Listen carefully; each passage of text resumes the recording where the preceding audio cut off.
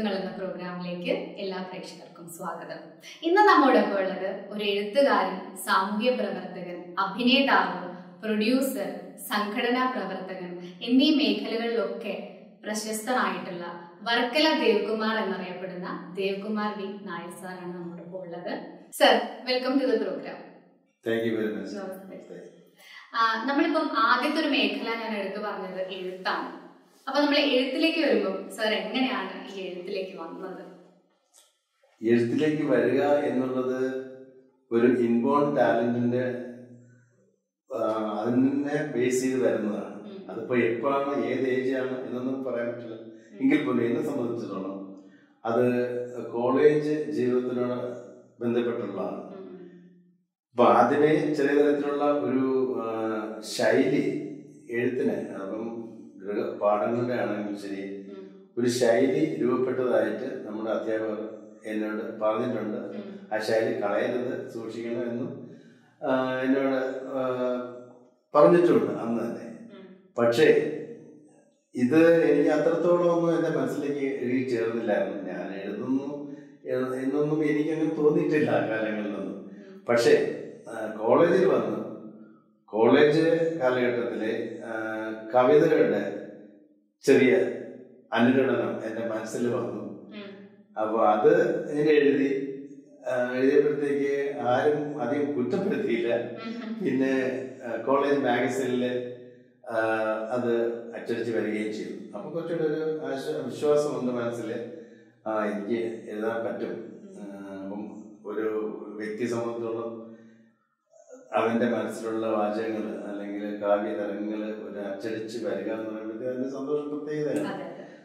അപ്പൊ അങ്ങനെ അവിടെ തുടങ്ങി തുടങ്ങി. പിന്നീട് അത് കാലം നീണ്ടു നിന്നില്ല ചെറിയ കഥകൾ കഥകളൊക്കെ ചെറിയ കഥകളും പിന്നെ കവിതകൾ എഴുതി.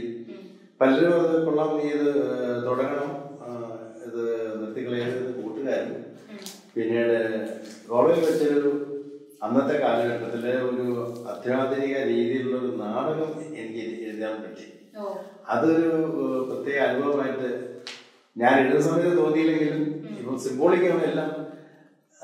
എന്റെ പ്രൊഫസർ മലയാള പ്രൊഫസർ അത് കോളേജ് ക്ലാസ്സിൽ വെച്ച് പറഞ്ഞപ്പോഴത്തേക്കാണ് ഞാൻ ഇത്രത്തോളമൊക്കെ എഴുതിയല്ലോ. അത് ഇങ്ങനെയൊക്കെ വ്യാഖ്യാനിക്കപ്പെടുന്നതിൽ അഭിമാനമുണ്ട്. അപ്പം എനിക്ക് ചെറിയ എഴുതാനുള്ള കഴിവുണ്ടെന്നത് സ്വയം വിശ്വാസം അന്ന് അന്ന് ഉണ്ടായി. പിന്നെ കുറെ കാലത്തേക്കൊന്നും എഴുതാനൊന്നും പറ്റിയില്ല. പിന്നെ ഗൾഫ് ജീവിതത്തിലൊക്കെ ഉള്ള ഒരു ആഭിമുഖ്യം മനസ്സിൽ കടന്നുകൂടി.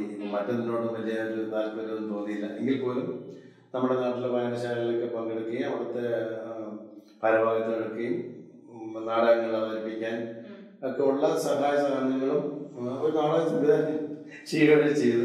അത് അതെ. സംവിധാനം ചെയ്യുകയും ചെയ്തു. അപ്പൊ അതൊക്കെ ഒരു മികച്ചത് എന്നൊന്നും പറയാൻ പറ്റില്ല. പക്ഷെ എന്റെ പ്രായത്തിനും എന്റെ മനസ്സിലുള്ള വിവരങ്ങൾക്കും അനുപാതികമായിട്ട് ഇത്തിരി കൊള്ളാവുന്ന തരത്തിലാണെന്ന് എല്ലാവരും പറഞ്ഞു. പിന്നെ ആണ് ഗൾഫ് ജീവിതം ആരംഭിക്കുന്നത്. ഗൾഫ് ജീവിതത്തിൽ ആരംഭിക്കുക എന്ന് പറഞ്ഞാൽ തന്നെ ഇന്നത്തെ ആ ഒരു പുലിമയൊന്നും എന്നൊന്നും ഉണ്ടായിരുന്നില്ല. വളരെയേറെ കഷ്ടപ്പെട്ട ഒരു കാലഘട്ടമായിരുന്നു. ആ കാലഘട്ടം കടന്നുപോയി. പിന്നെ എപ്പോഴും നമുക്ക് നിയതിയുടെ ചില ചുറ്റവട്ടങ്ങളുണ്ടല്ലോ ഉം. അപ്പം നല്ലൊരു രീതിയിലേക്ക് ജീവിതത്തെ കൊണ്ടുപോകാനുള്ള സാഹചര്യവും ജോലിയും ഒക്കെ കിട്ടി. ഉം. അവിടെ നിന്ന് പിന്നെ തുടരാനുള്ള ഒരു പ്രത്യേക സാഹചര്യം ഞാൻ തന്നെ ഉണ്ടാക്കിയെടുത്തു. ഏക എനിക്ക് കൂടുതൽ ബഹളങ്ങളിലൊന്നും താല്പര്യമില്ല. കുറച്ചൊക്കെ ഏകാന്തതയും പിന്നെ പിന്നീട് ചിന്തകളും ഒക്കെ എനിക്ക് എനിക്ക് സ്വയം. അപ്പോൾ ഞാൻ മനസ്സിലിട്ട് ഓരോന്നും ചിന്തിക്കുമ്പോഴത്തേക്ക് എന്തെങ്കിലും ഡിസ്റ്റർബൻസ് ഉണ്ടാക്കില്ല പിന്നെ അതെനിക്ക് വളരെയേറെ പ്രയാസം ഉണ്ടാക്കുന്നതാണ്. അപ്പൊ അങ്ങനെയൊക്കെ ഉള്ള അനുഭവങ്ങളിൽ അപ്പൊ അന്ന് എന്റെ ആ ജോലി സ്ഥലത്ത് എനിക്ക് ഏകാന്തതയ്ക്കുള്ള എല്ലാ സാഹചര്യവും ഉണ്ടായിരുന്നു ഉം. ഒരു എഴുത്തുകാരൻ എന്ന് പറയുമ്പോൾ എഴുത്തുകാരന്റെ ഒരു പിൻബലം ഏകാന്തത തന്നെയാണ്. ഞാൻ കേട്ടിട്ടുണ്ട് പല എഴുത്തുകാരും എഴുതുന്നത് എല്ലാവരും ഉറങ്ങിക്കഴിഞ്ഞതിന് ശേഷമായിരിക്കും അതൊരു ഉള്ളിലുള്ള നമ്മുടെ എന്താണോ ഒരു എഴുത്ത് വരുന്ന ഒരു സമയം എന്ന് പറഞ്ഞാൽ നിശബ്ദമായിരിക്കുന്ന ഒരു സമയത്തായിരിക്കും അതിനെല്ലാവരും ഉറങ്ങണം. തീർച്ചയായിട്ടും. എനിക്കിപ്പോ മറ്റുള്ളവർ ഉറങ്ങുമോ ഉറങ്ങാതിരിക്കുമോ എന്നുള്ളതല്ല. എനിക്ക് കിട്ടേണ്ട ഒരു സോളിറ്റ്യൂഡ് ഒരു ഏകാന്തത നിശബ്ദത അതെനിക്ക് കിട്ടിക്കഴിഞ്ഞാൽ മനസ്സിലുള്ളതൊക്കെ തേടി തേടി വരും. അപ്പൊ നമുക്ക് എഴുതാനും തോന്നും. അങ്ങനെയൊക്കെയുള്ള പല സാഹചര്യങ്ങളും എനിക്ക് അവിടെ കിട്ടി. അതൊരു ഭാഗ്യമായിട്ട് ആ ഒരു ജീവിത പന്താവിലേക്ക് ഇറങ്ങി ചെന്നപ്പോഴത്തേക്ക് എനിക്കുണ്ടായ ഒരു വ്യതിയാനം സാഹിത്യപരമായ വ്യതിയാനം അത് നോട്ടീസുകൾ തന്നെ ആയിരുന്നു. അപ്പം അന്നൊക്കെ കുറച്ചൊക്കെ എഴുതി അന്ന് അവിടുത്തെ ഗൾഫിലെ ആനുകാലിക പ്രസിദ്ധീകരണങ്ങൾ സ്പെഷ്യലി ഗൾഫ് എഡിഷൻസിലൊക്കെ എന്റെ കവിതകളും അപ്പോൾ ആദ്യമായിട്ട് വരുന്നത് മനോരമയിലാണ്. അവിടുത്തെ മ- പിന്നെ മാതൃഭൂമിയിൽ വന്നു. അങ്ങനെ ആ ഒരു കാലഘട്ടം അങ്ങനെ കഴിഞ്ഞു പോയി. അപ്പോഴത്തേക്ക് കവിത കുറച്ചുകൂടെ നല്ല രീതിയിലാവണം എന്നൊക്കെ ഉള്ളൊരു മനസ്സിലായി. ചെറിയ പൈങ്കിളി ഗാനങ്ങളല്ല. എന്നൊക്കെ തോന്നി. ഇത്തിരി ഇത്തിരി ഡെപ്തുള്ള ഒരു കവിത എഴുതുന്നു അങ്ങനെ കുറച്ചൊക്കെ എഴുതി. അവതരിപ്പിച്ചു. എനിക്ക് നല്ലൊരു നല്ലൊരു സംഗീത സുഹൃത്ത് വലയം അവിടെ കിട്ടി. അപ്പൊ അതൊക്കെ നല്ലൊരു സ്റ്റിമുലേറ്റിംഗ് പവറായിട്ട് എനിക്ക് തോന്നി. അതൊക്കെ തേടി ചെല്ലുന്നതല്ല സംഭവിക്കുന്നതാണ്. നമ്മൾ തേടി ചെന്ന് കിട്ടുന്നതിൽ എനിക്ക് അങ്ങനെ ഒരു അനുഭവം ഉണ്ടായിട്ടില്ല. പക്ഷെ കൂടെ വരുന്ന പലരും കൂടെ കൂട്ടിനുണ്ടായി. ആ കൂട്ടിന്റെ പിൻബലത്തിലൂടെ നമുക്ക് ആ പദ്ധതിയോടെ മുന്നോട്ട് പോകാനുള്ള ആ സാഹചര്യം ഉണ്ടായി. അതൊക്കെ തന്നെ ആയിരിക്കണം എനിക്ക് ഒരു കവിത കവിയാകാനും അല്ലെങ്കിൽ കഥാകാരനാകാനും പിന്നെ ഒരു നോവലിസ്റ്റ് ആകാനൊക്കെ സാധിച്ചത് എന്ന് ഞാൻ വിശ്വസിക്കുന്നു. പിന്നെ ദൈവവിശ്വാസം എന്ന് പറഞ്ഞാൽ ദൈവവിശ്വാസമുണ്ട് പക്ഷെ അമിതമായ ഒരു ചിന്ത ദൈവം എനിക്കെല്ലാം തരും എന്നങ്ങനെ ഒന്ന് ചിന്തിക്കുന്ന ഒരവസ്ഥയിൽ നിന്ന് എനിക്ക് ദൈവചിന്തയുണ്ട്. അത് ഭക്തി മാർഗത്തിൽ തന്നെ എന്റെ മനസ്സിലുള്ള ഭക്തി അത് ഞാൻ കാണിക്കുകയും ചെയ്യും. പിന്നീടുള്ളത് വെച്ചാൽ വെച്ചാൽ ഞാൻ നേരത്തെ പറഞ്ഞ പോലെ സാഹചര്യങ്ങൾ. ഇപ്പം പല നമുക്ക് ഉണ്ടാവുന്ന ചില മനസ്സിൽ പ്രേമം ഉണ്ടാവാം സ്നേഹം ഉണ്ടാവാം പിന്നീട് വേറെ വൈകാരികതകൾ ഉണ്ടാവാം മനസ്സിൽ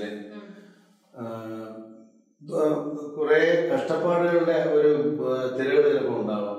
ഇതൊക്കെ ചിലപ്പോഴും നമ്മളെ ഓരോ കവിത രചനയിലേക്കോ കഥാരചനയിലേക്കോ ഒക്കെ കൊണ്ടുചെന്ന് കൊണ്ടുചെന്ന് എത്തിക്കും അത് എല്ലാവരുടെയും കാര്യം അങ്ങനെ ആയിരിക്കും ഞാൻ വിശ്വസിക്കുകയും ചെയ്യും ഇപ്പൊ എനിക്കായിട്ടൊരു പ്രത്യേക ഒരു ബന്ധമൊന്നുമില്ല എല്ലാവരുടെയും രീതി അങ്ങനെ തന്നെ ആവണം. എന്നാലേ ഇപ്പം നമ്മൾ ഒരു ചെറിയൊരു ഇത് പറയാറുണ്ട് കവിത എന്ന് പറയുമ്പോഴത്തേക്ക് spontaneous outflow of powerful feelings എന്ന് പറയുന്നത്. അതുപോലെ പവർഫുൾ ഫീലിങ്സ് അത് സന്തോഷമാവാം സന്താപം നിറഞ്ഞതാവാം പക്ഷെ അതിനൊക്കെ നമ്മൾ മനസ്സിൽ പരിമിതപ്പെടുത്തുമ്പോഴത്തേക്ക് ഉണ്ടാവുന്ന ചില വാചകങ്ങളും ഗാന എന്താ പറയുന്നത്? വരികളും ഒക്കെ നമ്മളിൽ അങ്ങനെ വന്ന് ചേരുകയാണ്.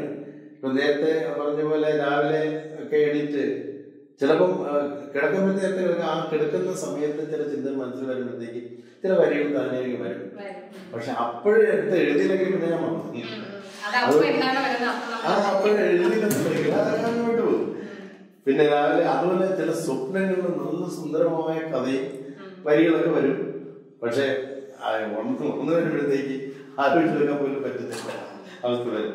ഇതുവരെ ഞാൻ രാത്രി ഒരു മണി രണ്ട് മണിയൊക്കെ പെട്ടെന്ന് എണീറ്റ് ഞാൻ എഴുതിയിട്ടുണ്ട് അങ്ങനെയൊക്കെ അനുഭവങ്ങളൊക്കെ ഉണ്ട്.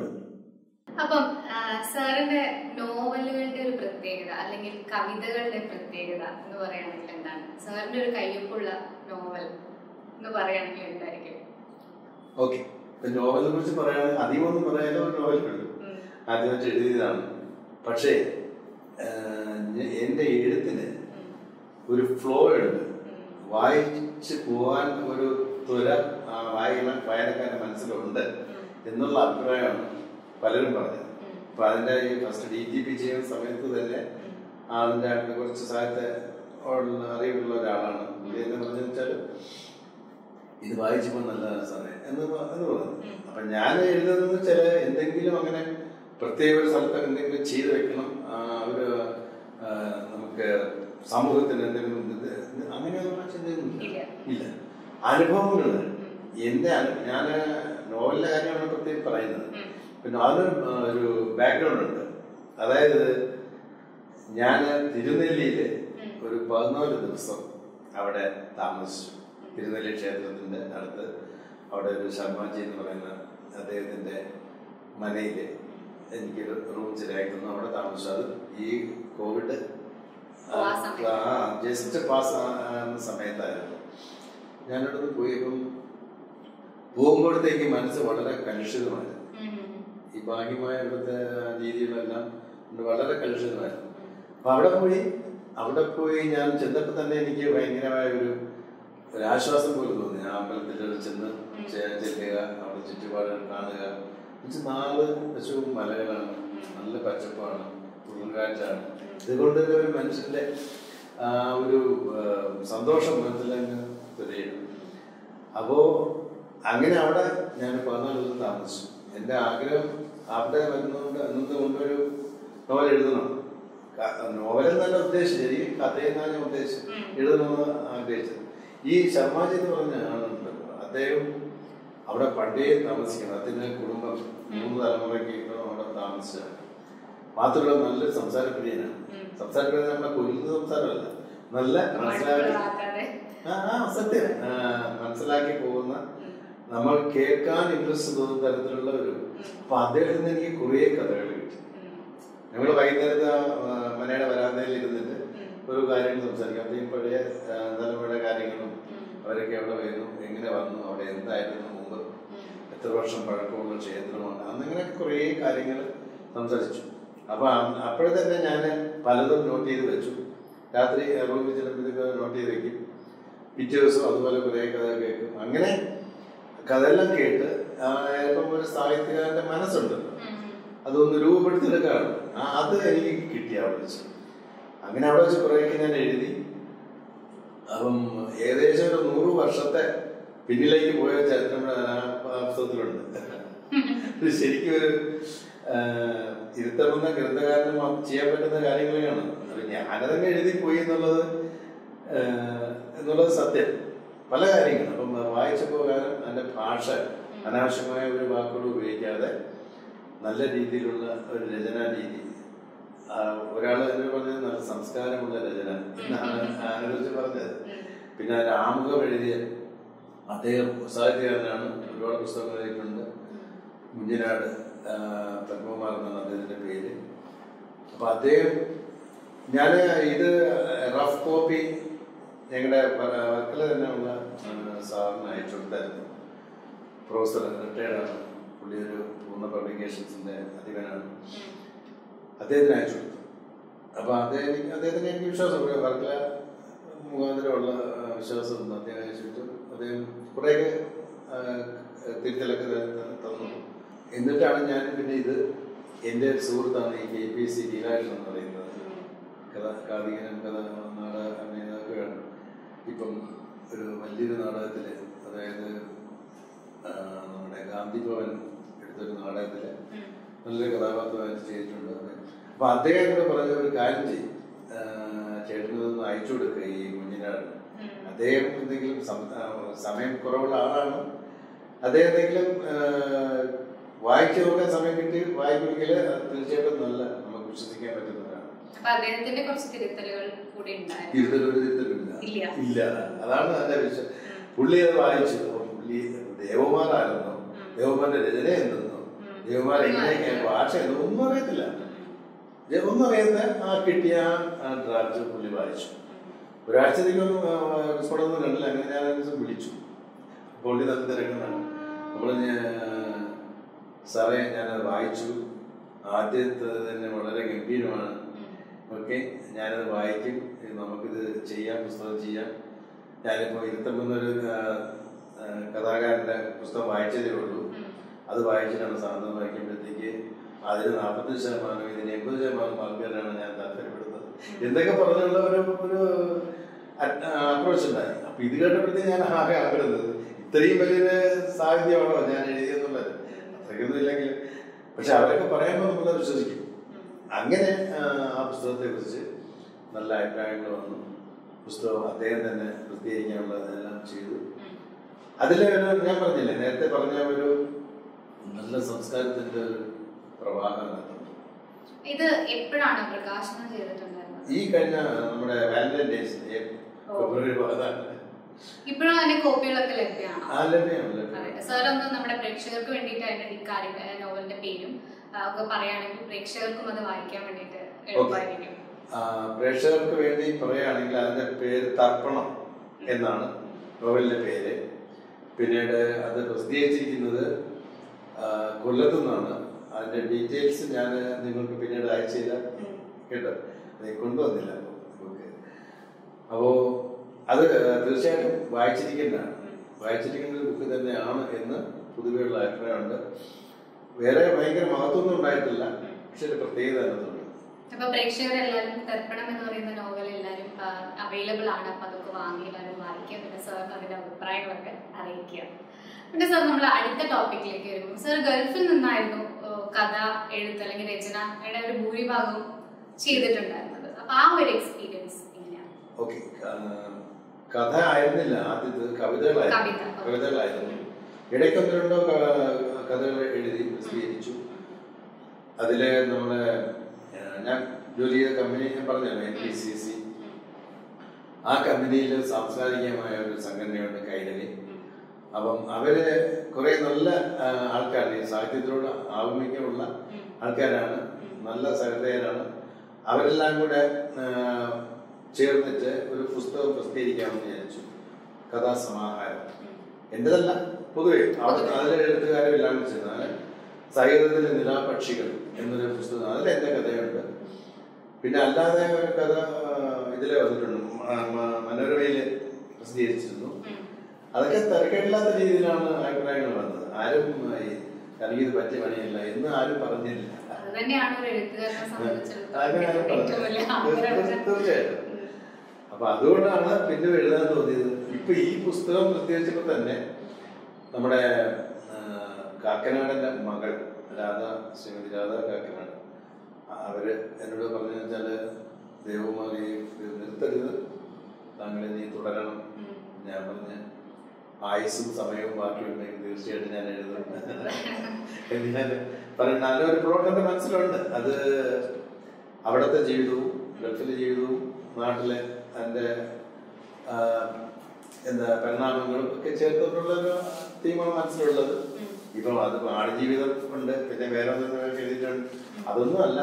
അല്ലാതെ പച്ചയായ ഒരു ജീവിതം. അതായത് തീരെ മോശമല്ല.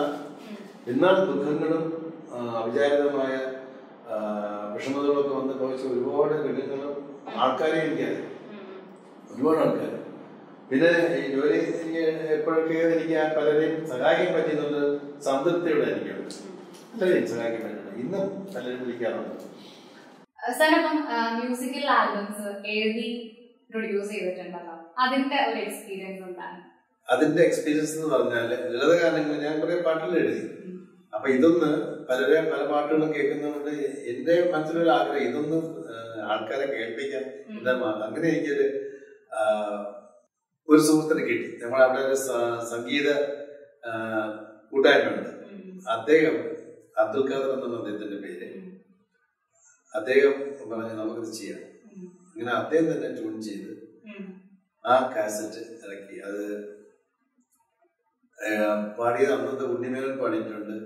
പിന്നീട് ബിജുനാരായണൻ പിന്നീട് മിൻമിനി അങ്ങനെ നല്ലൊരു ടീമാണ് അത് പങ്കെടുത്തത്. അതായിരുന്നു ആദ്യത്തെ ഒരു കാസറ്റ് ആണ് അന്ന് കാസറ്റ് ആണ് രണ്ടായിരത്തി രണ്ടിലായിരുന്നു അത്. കാസറ്റ് ആയിരുന്നു പിന്നെ ഞാൻ അയ്യപ്പ ഗാനങ്ങളുടെ ഒരു സി ഡി ഇറക്കി അയ്യപ്പ ഗാനങ്ങൾ അത് കഴിഞ്ഞിട്ട് ഭക്തി ഗാനങ്ങളെ കുറെ എഴുതി വച്ചിട്ടുണ്ട്. ചെയ്യണമെന്നുള്ള ആഗ്രഹമുണ്ട്. ഇല്ല ചെയ്ത് ഒന്ന് രണ്ട് ശ്രമം നടന്നു. പക്ഷെ അത് പൂർണതയിലെത്തിയില്ല പൂർണതയിൽ എത്തിയില്ല. നീ ചെയ്യണം അതെ അതും ഇനി അധികം വൈകാതെ തന്നെ സാധ്യമാകട്ടെ നമുക്കൊക്കെ കേൾക്കാൻ പറ്റട്ടെ. സാർ ഇനി അടുത്തൊരു മേഖലയിലേക്ക് പോവാണെങ്കിൽ സാറിന്റെ അഭിനയം. അഭിനയം എന്ന രീതിയിൽ എനിക്ക് വളരെ കൂടുതൽ ചെയ്യാൻ പറ്റിയിട്ടില്ല. പക്ഷേ അവനെ തുടങ്ങുന്നത് അബുദാബിയിലെ എന്റെ ഒരു സുഹൃത്ത് എടുത്തൊരു ഷോർട്ട് ഫിലിം. ഷോർട്ട് ഫിലിം അല്ല അത് ടെലിഫിലിം വൺ അവർ ആൾമോസ്റ്റ് ഉണ്ട് അതിൽ ഒരു പത്ര പ്രവർത്തനായിട്ട് എനിക്ക് അഭിനയിക്കാനുള്ള അവസരം അദ്ദേഹം തന്നു. അത് എന്റെ ആദ്യത്തെ സ്റ്റെപ്പായിരുന്നു നാട്ടിലെ നാടകത്തിലൊക്കെ അഭിനയിച്ചിട്ടുണ്ടെങ്കിലും ഇങ്ങനെ ഒരു ക്യാമറയുടെ മുന്നിൽ ആദ്യമായിട്ടാണ് അഭിനയിച്ചത്. അതിൽ സ്വാഭാവികമായ ഒരു അഭിനയത്തിന്റെ ശൈലി എനിക്ക് ഉണ്ടായിരുന്നു എന്ന് കണ്ടവരൊക്കെ പറഞ്ഞു. പിന്നെ ഉള്ളതെന്ന് വെച്ചാൽ ഞാൻ അവിടെ നാടകത്തിൽ നാടക മത്സരം കെ എസ് സിയിൽ കേരള സെന്ററിൽ നാടക മത്സരം നടക്കുക എല്ലാ വർഷവും. അതിലൊരു നാടകത്തിൽ ശ്രീ സുജായി സംവിധാനം ചെയ്യുന്ന നാടകം. അതിൽ കോഴിക്കോട് സാമൂതിരിയായിട്ട് എനിക്ക് അഭിനയിക്കാനുള്ള ഒരു അവസരം. അത് ആ ഫിഗർ കൊണ്ട് നല്ലൊരു അപ്രിസിയേഷൻ കിട്ടിയ അഭിനയത്തിന്റെ കാര്യത്തിൽ ഒന്നും അത്രയൊന്നും പറയാൻ പറ്റില്ല. പക്ഷെ ആ ഫിഗർ കൊണ്ട് ഒരു പ്രസൻസ് ഫീൽ ചെയ്യുന്നതായിട്ട് ഞാൻ പറഞ്ഞിട്ടുണ്ട് പിന്നെ ഞാൻ എടുത്ത ഷോർട്ട് ഫിലിമുകളിൽ അഭിനയിച്ചിട്ടുണ്ട്. അതൊക്കെ തന്നെയാണ് അഭിനയത്തിന്റെ പിന്നെ അടുത്ത സമയത്ത് ഞാനൊരു നമ്മുടെ സീരിയലിൽ ഒരു ചെറിയ വേഴ്സിൽ ഉണ്ടായിരുന്നു. അങ്ങനെയൊക്കെ ഉള്ള കാര്യങ്ങളെ ഉള്ളൂ. അഭിനയത്തെ കുറിച്ച് പറയാൻ. അപ്പൊ ആഗ്രഹമുണ്ട് തേടി എത്തുമ്പോന്നുണ്ട് കാരണം അങ്ങോട്ടും കൂടെ പോകണം. പകുതി വഴി പകുതി വഴി സഞ്ചരിച്ചാലേ നമുക്ക് എന്തെങ്കിലും ഒരു എന്തെങ്കിലും പക്ഷെ ആരെയും അങ്ങനെ കൂടുതൽ ആരെയും ബുദ്ധിമുട്ടിക്കാൻ ഞാൻ ശ്രമിച്ചിട്ടില്ല. പിന്നെ ഒരു റിജു നായർ അദ്ദേഹമാണ് എനിക്ക് ഒരു ചാൻസ് തന്നത്. അദ്ദേഹത്തെ എനിക്ക് സംഖ്യാരിക്കാൻ പറ്റില്ല. പക്ഷെ ഇതിലെന്താന്ന് വെച്ചാൽ കരയുന്ന കുട്ടിക്ക് പാലുള്ളൂ എന്ന് പറയുന്ന പോലെ നമ്മൾ ചോദിച്ചെങ്കിൽ മാത്രമേ അവസരം നമ്മൾ തീർച്ചയായിട്ടും എനിക്കതൊരു മടിയാണ്. അങ്ങനെ പോയി എല്ലാ വാതിലും കൊട്ടുക എന്ന് പറയുന്നതിനോട് എനിക്ക് അറിയുന്ന ആൾക്കാർ അറിയുന്ന ആൾക്കാർ തമ്മിൽ ഓക്കെ ഓക്കെ ഞാൻ ചെയ്തു റോൾ ചെയ്യണം. എന്ന് പറയുന്ന രീതിയും അല്ലാതെയുള്ള ഈ വാതിൽ മുട്ടലും പക്ഷെ ഞാൻ കേട്ടിട്ടുള്ളത് പ്രശസ്തരായിട്ടുള്ള പല ആളുകളും അവർക്ക് അവസരങ്ങൾ തീർച്ചയായിട്ടും. തീർച്ചയായിട്ടും തന്നെ തർക്കിക്കുന്നില്ല. അങ്ങനെ തന്നെയാണ് പല നേടിയിട്ടുള്ളത്. ഒരിക്കലും ആരും അങ്ങോട്ട് ചെന്നിട്ട് വന്ന് പറഞ്ഞ് പറഞ്ഞിട്ടൊന്നുമില്ല. എല്ലാവരും എത്ര പ്രമുഖരും ഇതൊക്കെ തന്നെയാണ് ചെയ്തിട്ടുള്ളത് പക്ഷെ എനിക്ക് എന്തോ ഒരു ചെറിയൊരു മടി. അതിലില്ല. ഇതിലില്ല പിന്നെ വാ എന്ന് പറയുമ്പോഴത്തേക്ക് എനിക്ക് ഒരു സെൽഫ് ഇൻസൾട്ട് തോന്നി പോകുന്ന രീതിയിൽ അതുകൊണ്ട് ഞാൻ അങ്ങനെ കാര്യത്തിൽ പോകാറുണ്ട് എന്തായാലും നിരവധി അവസരങ്ങൾ വീണ്ടും സാറിന് തേടിയെന്നൊക്കെ സാർ അങ്ങോട്ടും തേടി പോകട്ടെ ഞാൻ ആ, പറയുകയാണെങ്കിൽ ഒരു അവസരത്തിൽ. സാർ ഇപ്പൊ ഏതൊക്കെ സംഘടനകളിൽ പ്രവർത്തിക്കുന്നുണ്ട്? ഇപ്പോൾ ഞാൻ പ്രവർത്തിക്കുന്ന സംഘടന എന്ന് പറയുന്നത് വൈസ്മാൻ ഇന്റർനാഷണൽ. ആ സംഘടനയിൽ നമ്മുടെ വർക്കലത്തെ യൂണിറ്റിന്റെ ക്ലബ്ബ് വർക്കല ക്ലബിന്റെ പ്രസിഡന്റാണ് ഇപ്പോൾ ഞാൻ പിന്നെ അത് കൂടാതെ വർക്കല ക്ലബ്ബ് ഉം. അതിന്റെ മുൻകാല സെക്രട്ടറി ആയിരുന്നു രണ്ടു പ്രാവശ്യം ഇപ്പോഴും ആജീവനാന്ത മെമ്പർഷിപ്പാണ് അതിനുള്ളത്. പിന്നെ ഉള്ളത് ഉം. N S S. ആ, കരയോഗത്തിന്റെ മുടിയക്കോട് യൂണിറ്റിന്റെ പ്രസിഡന്റാണ് ഞാൻ അല്ലാതെ ചെറിയ ചെറിയ സംഘടനകളൊക്കെ ഒരുപാടുണ്ട്. അതിലൊക്കെ പങ്കെടുക്കുന്നുണ്ട്. പ്രധാനമായും ചാരിറ്റിയാണ് ആ ചാരിറ്റി ആണ് നമ്മുടെ മുഖ്യ ലക്ഷ്യം. ഉം. സാർ എന്തൊക്കെ ചാരിറ്റി പ്രവർത്തനങ്ങളാണ് ചെയ്യുന്നത്?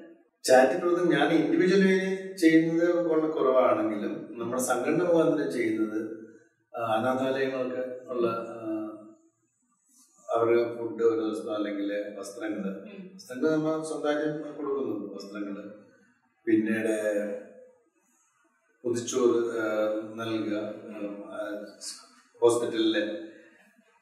അവിടെ കൂട്ടിരിപ്പുകാർക്ക് പിന്നെ രോഗികൾക്കൊക്കെ അങ്ങനെയൊക്കെയുള്ള കാര്യങ്ങൾ ചെയ്യുന്നുണ്ട്.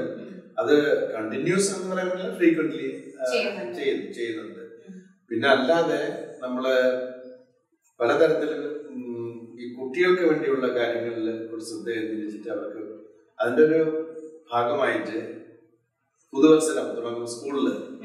തുടങ്ങുമ്പോഴത്തേക്ക് കുട്ടികൾക്ക് ബാഗും പിന്നെ റൈറ്റിംഗ് മെറ്റീരിയൽ സ്റ്റഡി മെറ്റീരിയൽ ഒക്കെ കൊടുക്കുന്നുണ്ട്. അത് പതിവായിട്ട് കൊടുക്കുന്നുണ്ട്. അത് നമ്മുടെ ഏരിയയിലുള്ള മൂന്ന് സ്കൂളുകളിലും പിന്നെ വർക്കല അന്തർവിദ്യാലയത്തിലും. അത് കൊടുക്കുന്നു ഇതിനോടകം തന്നെ സാറിനെ തേടി നിരവധി പുരസ്കാരങ്ങൾ വന്നു ചേർന്നിട്ടുണ്ട്. അത് ഏതൊക്കെയാണ്?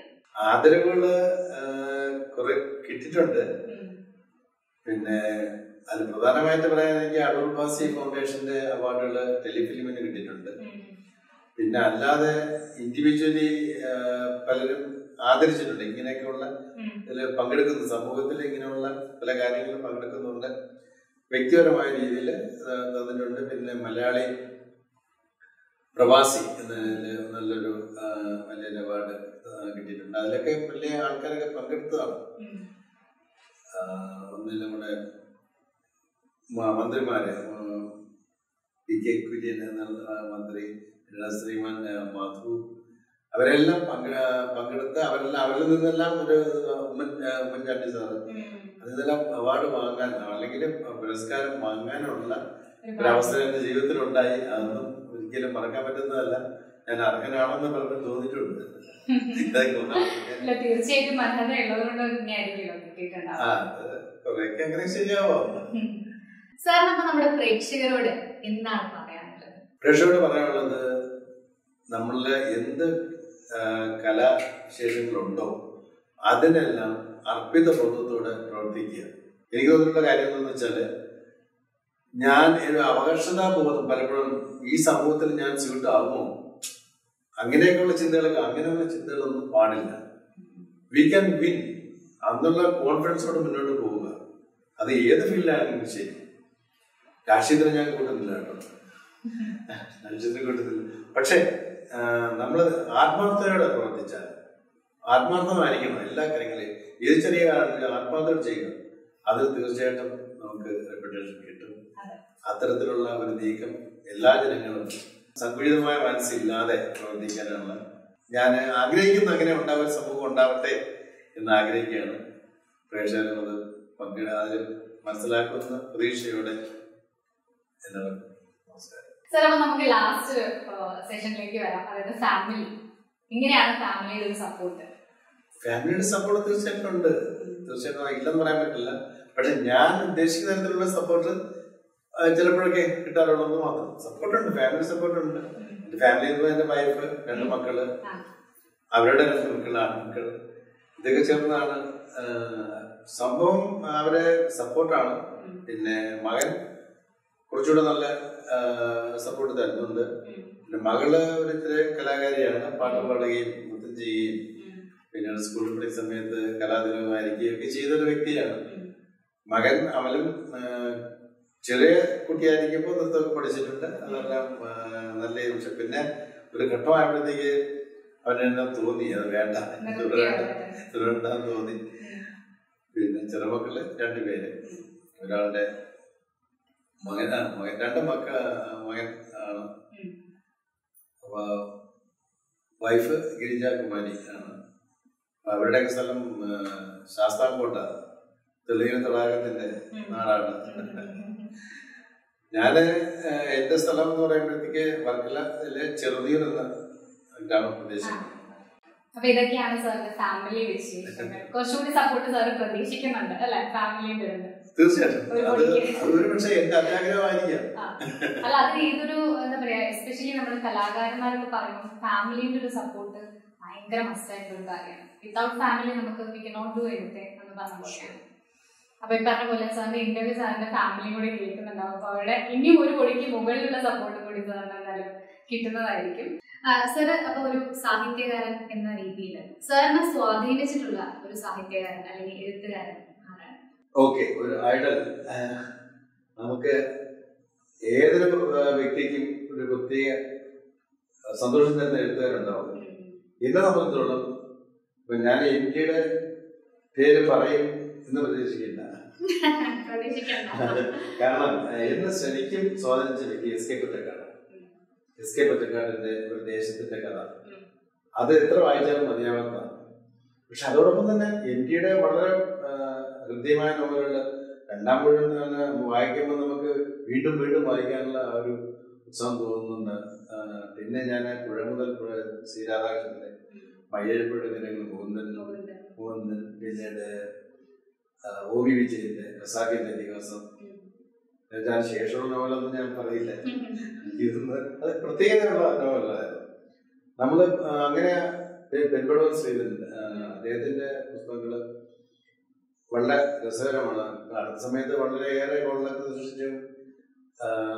കുറെ അവാർഡുകൾ കിട്ടിയതും ഒരു സങ്കീർത്തനം പോലെ ഒരു സങ്കീർത്തനം പോലെയാണ്.